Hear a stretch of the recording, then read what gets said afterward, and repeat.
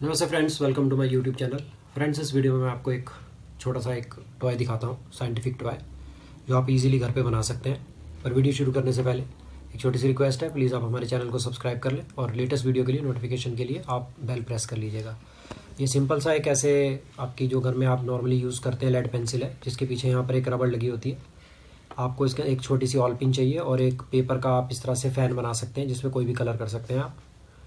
आपको इस पेंसिल के ऊपर हेक्सो की मदद से कुछ स्टेप्स बनाने होंगे। इस तरह से कट्स बना दीजिएगा और कोई भी प्लास्टिक का नॉर्मल एक पेन लेके आप इस पर आगे पीछे इसको ओसिलेट करेंगे तो आप देखेंगे ये आपका फ़ैन घूमने लगेगा और एक बहुत ही अच्छा टॉय बन जाएगा। तो आप कमेंट करके बताइएगा कि इसका रीज़न क्या है, क्यों ये घूमता है।